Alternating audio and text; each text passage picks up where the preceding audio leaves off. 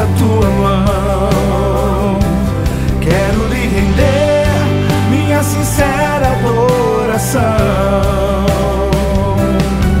Entregar-te o que me é caro, ser dependente do teu braço, pagar o preço